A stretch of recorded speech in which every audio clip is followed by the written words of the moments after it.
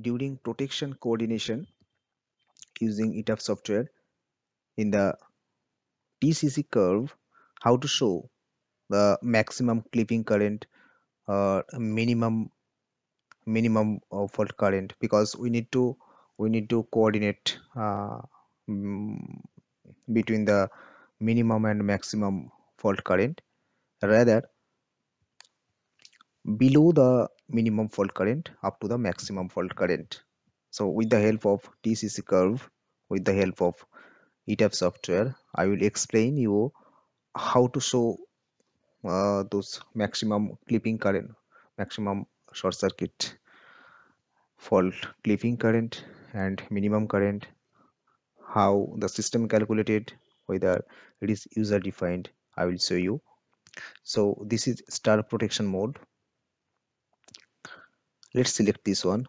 Uh, these two relay transformer primary side transformer secondary side. Press control and select this bus as well.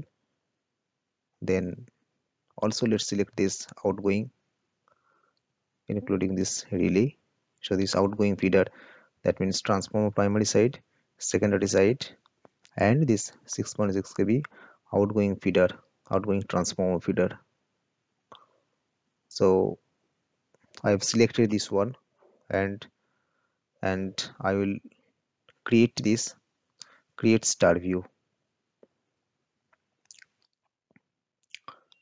So I have created this uh, TCC curve.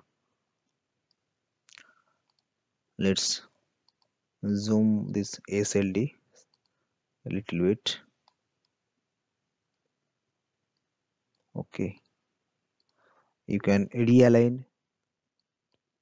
It will look good.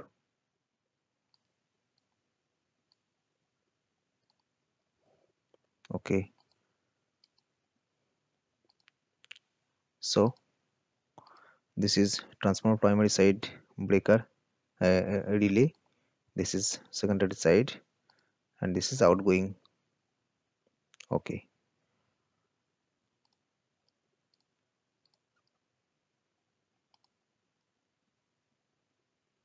let's uh, switch off this grid line.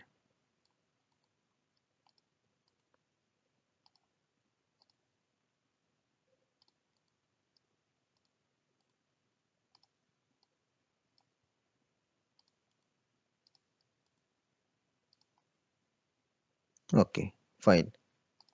Now here in the end you can see this these three relays these three relays are clipped this maximum short circuit clipping current. You can see this is for relay 6 so what is the value? Just uh, border and arrow also. Okay. So that means for this relay this is for the uh, transformer primary side relay because this is transformer relay 6 is the transformer primary side relay so here you can see this is clipped at 2.99 kiloamps at reference voltage 33.6 kV. It is clipped let's go to the relay. Uh, for this particular relay you can see this TCC KA TCC KA and here TCC clipping current. This is three phase kiloamps at base kV this is 2.99 so this box is checked. So that's why this value is showing in the TCC curve. And also line to ground these are also showing in the TCC but what is about this? This is this is nothing but minimum short circuit current. Minimum minimum symmetrical short circuit current so if you want to show in the TCC curve then what to do? Definitely you need to check this check this box for the three phase short circuit current to be shown in the TCC curve. And also this line to ground line to ground fault. This is for phase ground sensitive ground. Okay. So all you can do but as you can see this is zero. This is 0 it is not showing. Why it is not showing. That means if you check if you check this box and click ok then then also then also that minimum short circuit current is not showing. So to do that to do that to check what is the minimum three phase short circuit current here and to show in the TCC curve you need to you need to go back to this SLD here. So we are we are talking about this relay. Okay. Now what to do? We need to go to this briefcase study case editor star mode. Study case editor. Okay. Here this is the standard. You can see this is standard and here here by default it is showing the maximum short circuit current. This is maximum short circuit current. Okay. And this is minimum short circuit current. So you need to check this minimum. Click here minimum. Then okay. Now another step you need to perform. What is that? That is this one. Run update minimum short circuit current. Run update minimum short circuit current. You can notice once you have selected once you have selected from this study case editor once you have selected minimum then it will show this cursor just hover over this cursor and it will show run update minimum short circuit kiloamps if it is maximum if you choose maximum click ok. Now you see run update short circuit kiloamps. So this is the difference. So we want to run this minimum because we want to show in the TCC curve. So select minimum from study case editor. Next run and update minimum short circuit kiloamps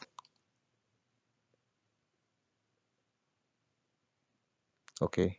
Now the minimum short circuit current is uh, showing in the entire network. Now go to the TCC curve.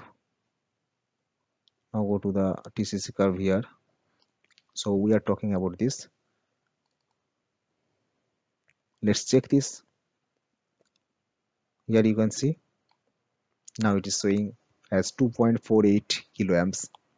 This is TCC minimum current symmetrical current is 2.48 kiloamps.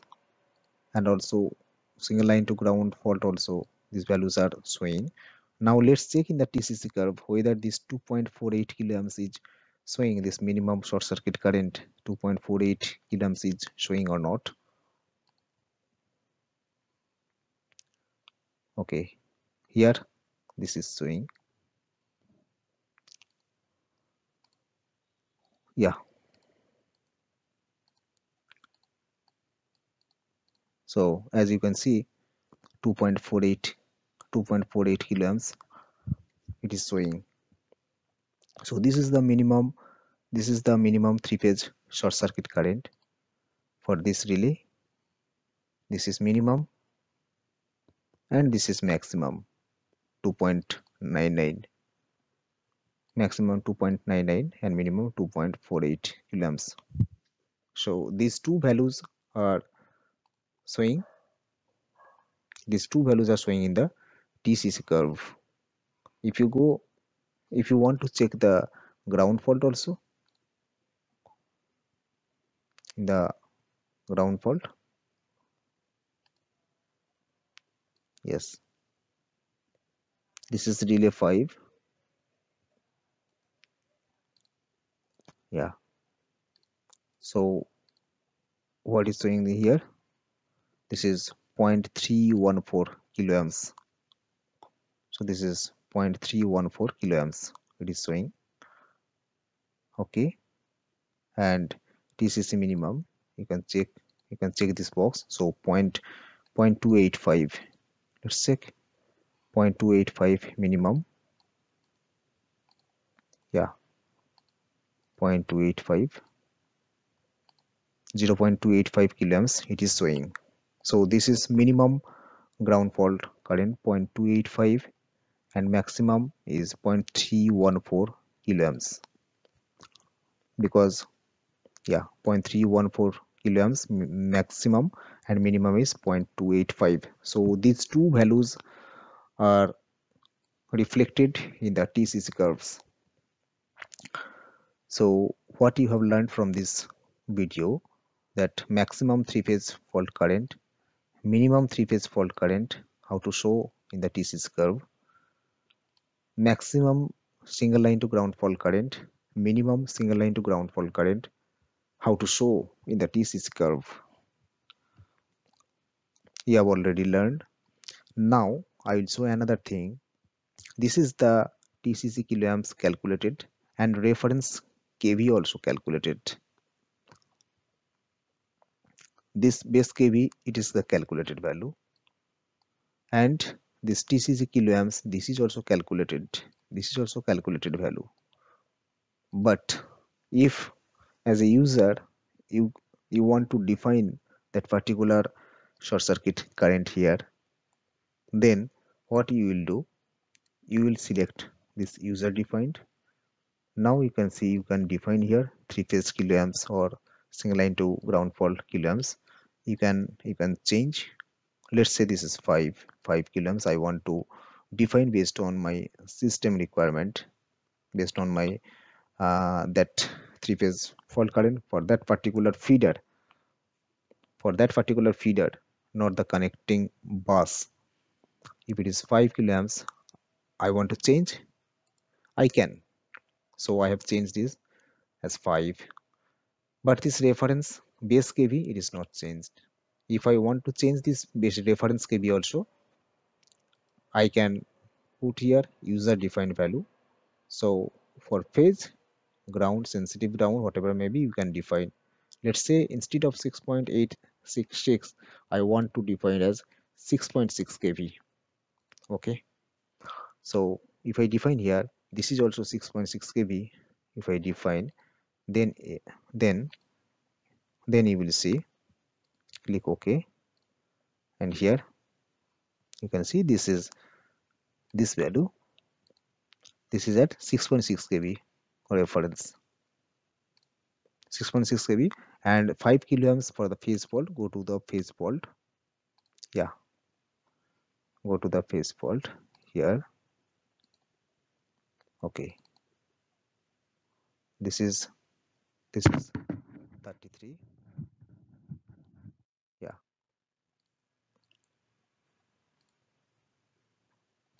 This is a relay 6 I think I have changed here for this relay for this relay.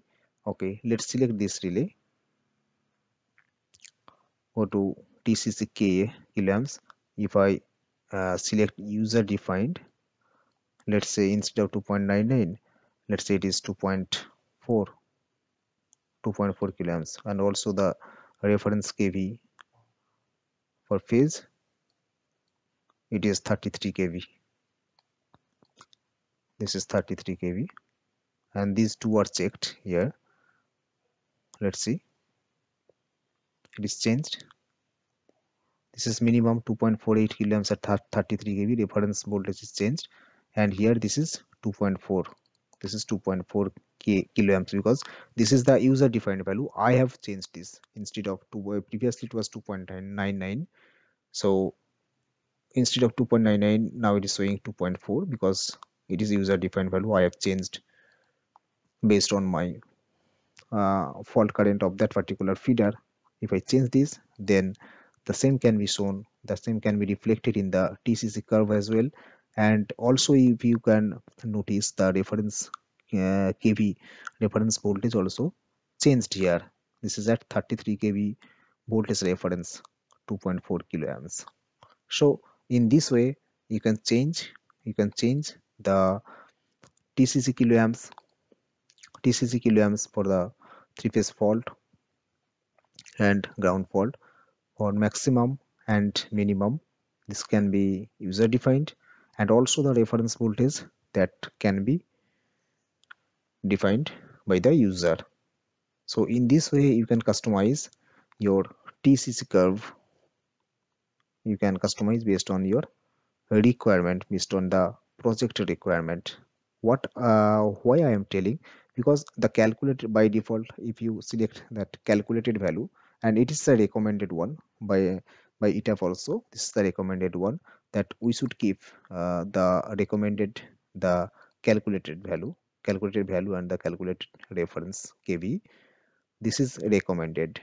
But some of the cases we have seen in the real-time scenario in the real-time projects that this relay will see the fault current flowing through particular through this feeder. But what ETAP will show you the calculated value that depends that is depending on the bus fault current this connecting bus fault current. Let's say this fault current is 5 kiloamps but this relay will never see 5 kiloamps because because this feeder through this feeder the fault contribution should be less than 5 kiloamps so in that case in that case to present in the TCC curve you need to uh, define that the user value that user defined value for that particular relay. So in that case it may be required that uh, we need to define this. We need to define this as a user user defined value not the calculated one. If it is calculated it is 2.99 let's say this is applicable for that connecting bus. But that feeder that means the relay connecting to that particular feeder will never see this much of short circuit fault current which is 2.99 kiloamps. It should be, be below than that value. So in that case let's say is the contribution maybe 2 kiloamps only. So we need to define as 2 kiloamps. So in that way you can customize this TCC curve as per the requirement that means feeder wise feeder wise requirement. In some of the cases client will tell you client may tell you no no this relay will not see will never see this relay will never see the bus fault current. So why why this this much of fault current we are considering? Yes it's true. If it is required technically also it is justified. If it's required then we can user define that value not 5 kiloamps maybe 2 kiloamps only current that reflected fault current. If there is any fault here in the bus uh, low voltage side then what will be the reflected value? So based on that we can define. Particularly for this feeder we can define this user defined value and we can this will be user defined value and we can show in the TCC curve like this. I hope uh, some value addition is there. Still if you have any doubt you can put your comment in the comment box